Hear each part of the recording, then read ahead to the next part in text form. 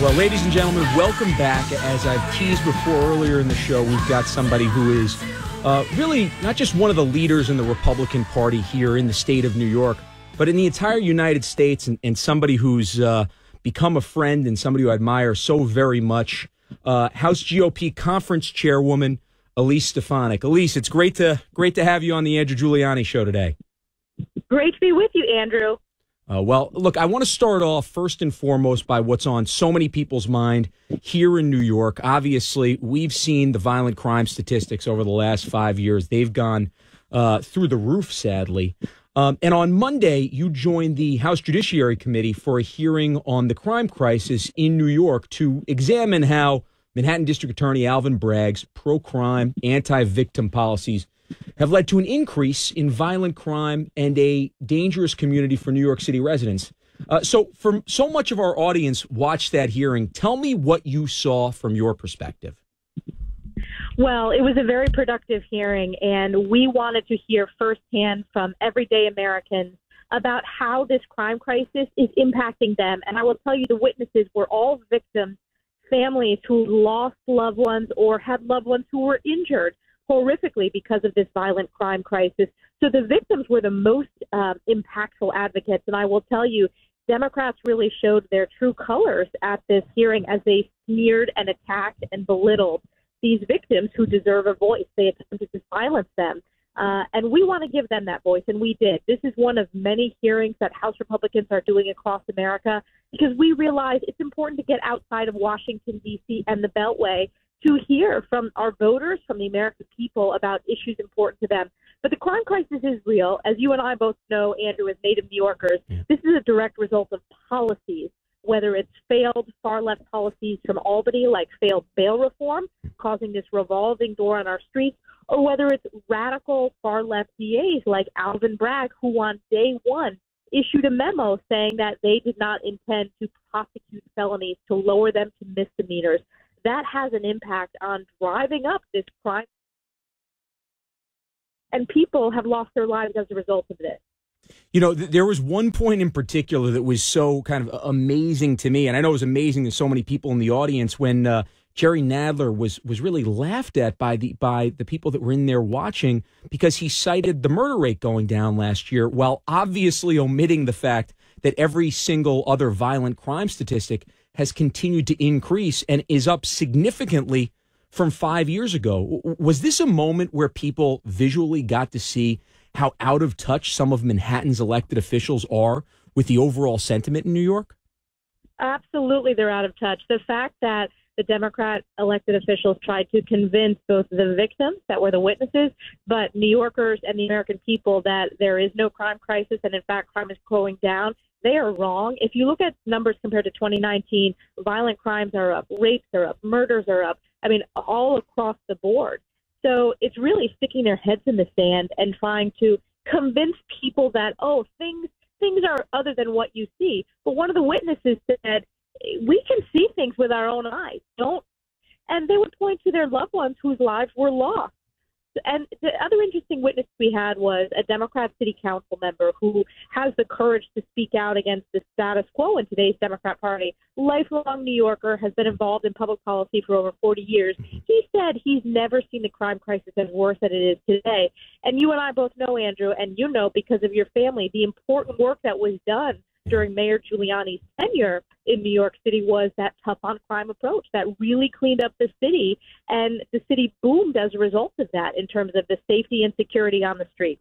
You know, you're absolutely right in the sense that it's not going to take a genius to be able to figure out how to do this because there there is a playbook that works. It's a matter of actually having the intestinal fortitude to, to do that.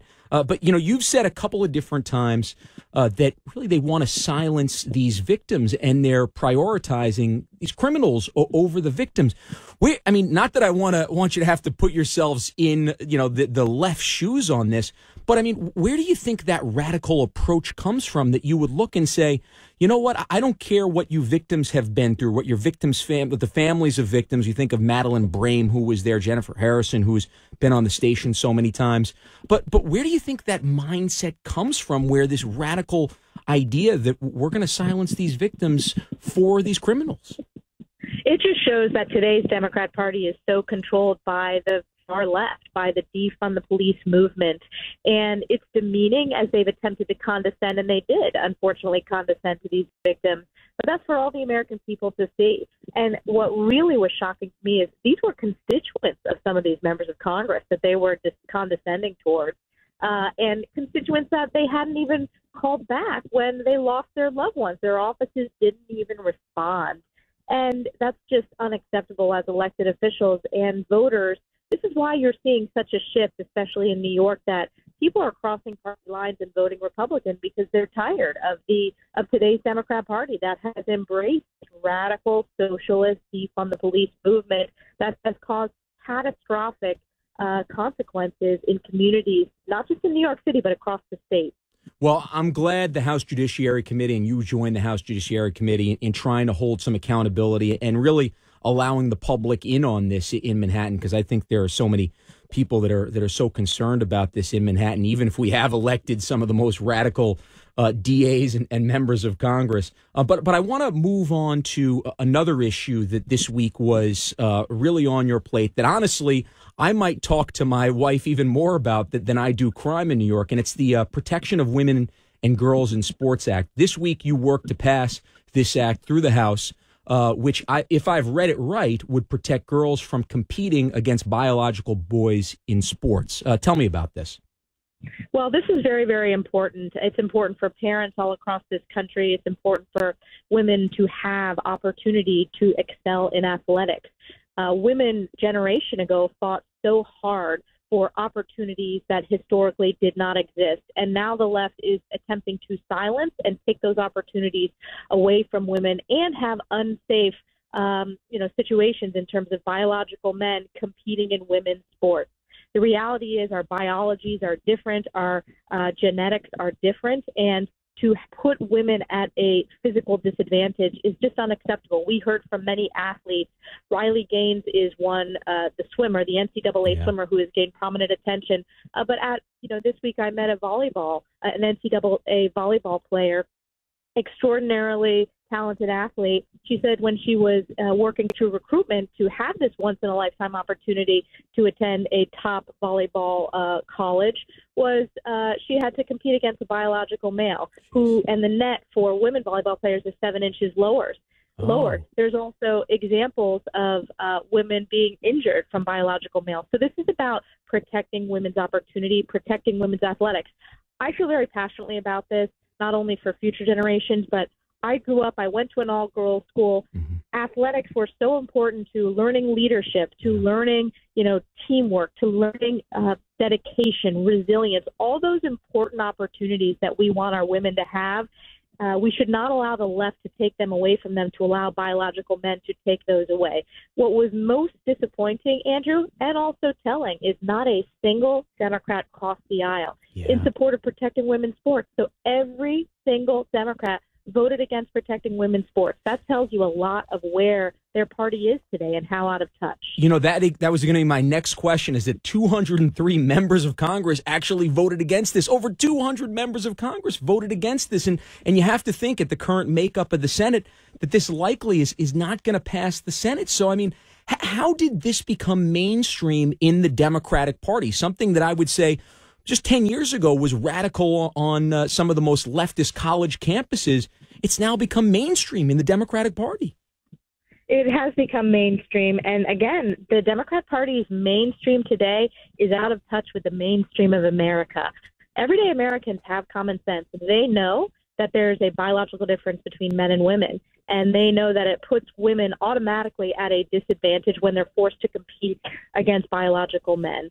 So this is about protecting women's opportunities, protecting women's safety, uh, and protecting the American dream for so many women. Um, and I, again, athletics are very important to so many women leaders who will look back during their youth and say that the skills they learned, the lesson they learned in women's sports, helped them with the lessons and skills they needed as a woman leader, whether you're a CEO, whether you're an elected official. I played varsity lacrosse, I rowed crew. Right. Those were really, really important. And I'll tell you, we had a great varsity lacrosse team. Thank God we didn't have to compete against biological right. males. Right. Same thing with rowing crew as well.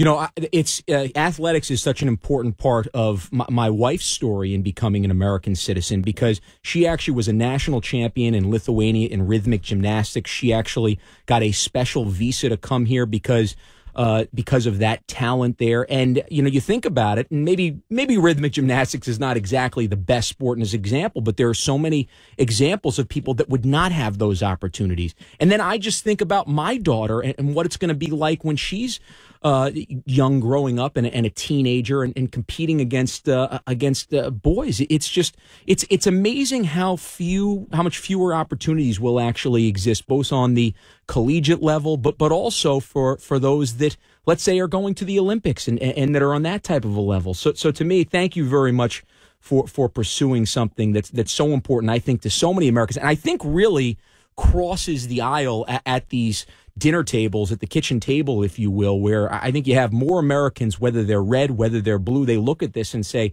hey, this is a very bi- binary, uh, very, very binary thing to me, and, and, and I don't want our boys competing against our girls and vice versa. Yes, absolutely. And I'll tell you, this is happening more often than people realize. Uh, I think of one of my colleagues. He has daughters who are school aged who are playing basketball. And, um, you know, I'm not going to say which colleague it is because I'll, I'll let that person talk about it. But mm-hmm. they're having to deal with, um, you know, young boys playing on the girls' basketball team. And, you know, that that's fundamentally unfair to those young girls. Yeah. Well, another thing regarding kind of let's say our kids, if you will, that uh, last month you were involved in, really, which is another thing my wife and I talk all the time about. Uh, you know, the House passed a measure that would require schools to publish course studies and a list of books kept in libraries, as well as affirm parents' ability to meet with educators, speak at school board meetings, and examine school budgets. Uh, that legislation is also not expected to advance through the Senate, though it gives House supporters the chance to promote their vote for it during next year's election. I mean, what, what I would say on this is why why the lack of transparency from the from these uh, how would I say pro educators as they claim to be, but they don't want parents involved. It's almost like uh, an extension of what McAuliffe said uh, during the Youngkin debate a couple of years ago that they don't want parents getting involved uh, in the state's issues, if you will. Well, the Republican Party is clearly the party of parents, and we proudly stand up for parents across America. The bill you're referencing, Andrew, is called the Parents' Bill of Rights, and oh, it has you. some very specific but also very simple uh, pledges. One, parents have a right to review the school budgets. That's pretty straightforward. Mm-hmm. Number two, parents have a right to access the curriculum. That's also pretty straightforward. Parents have a right to have meetings with school administrators. These are very basic principles. And the and and another importantly, when it comes to school safety, parents have the right to access data when it comes to uh, violent incidences on their school campus. So we want to give parents those tools and what people realized during COVID, as there were these forced at home uh, learning situations that were online, parents were really given a, a view into a lens into what was really being taught in our kids' classrooms. And it woke up parents across America that we need to be engaged to make sure that the academic rigor is there and not this politicization in the classroom. And I will also tell you the teacher's perspective. I'm not talking about the union head. I'm mm-hmm. talking about the day-to-day teachers who do amazing, amazing work. Every teacher will tell you that kids are most successful when the parents are engaged in their kids' education. They want the parents to be partners in this educational journey for each and every child. And we support that. And I know as a young mom, I care deeply about making sure that my son has educational opportunities and academic rigor. Mm-hmm. And I just look at some of this politicization in the classroom that I hear from my constituents, and it is unacceptable. And we need to get back to that focus on academic rigor. Well, and to your point, I, I've talked to so many teachers that feel like they're stuck in a bad system basically and, and they they basically don't agree with a lot of what the union is doing. Public school teachers who i think are in it for the right reasons. So another one that i'm, I'm very happy that you've taken uh, by the horn. So just a couple more questions but one in particular you know you were i believe the first elected official certainly the first member of congress to endorse president donald trump for his reelection chances here. Uh, what do you think a couple of months into the campaign uh, the, how, how the campaign looks Well, I am very proud to endorse President Donald Trump for reelection. I think not only is he in the strongest position to become the Republican nominee, I view him as as the presumptive nominee. He's in a strong position to defeat Joe Biden in the 2024 uh, election because look, voters now have seen the stark contrast between Trump's leadership and Biden's leadership. Look at the strength of the economy under Trump. Look at the strength when it came to our national security, the respect for the Constitution. And meanwhile, under Joe Biden, things have unraveled in just over two years. You have historic inflation. You have a wide open border that was previously the most secure in modern times under President Trump. You have the communist Chinese flying balloons over the United States. You have Russia taking advantage of the U.S. weakness on the world stage by invading Ukraine.